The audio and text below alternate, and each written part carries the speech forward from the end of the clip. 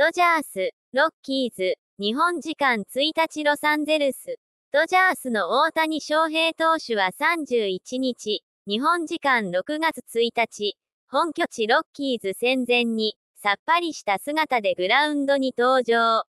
連戦もあって髪が長くなっていたが、久々に散髪したようで、髪切ってる。最近急に長めにし始めたから、てっきりまみこさんの好みなのかと思ってたとファンも即座に注目した。5月30日、同31日はオフ。敵地での6試合を終え、この日は22日、同23日以来となる本拠地での試合となった。カットする前は、前髪を下ろすと目を覆う長さまで伸びており、22日、同23日の試合では、ベンチに飛び込むファウルボールを避けた際に髪の毛がボサボサに荒れる様子が中継に映されて話題となっていた。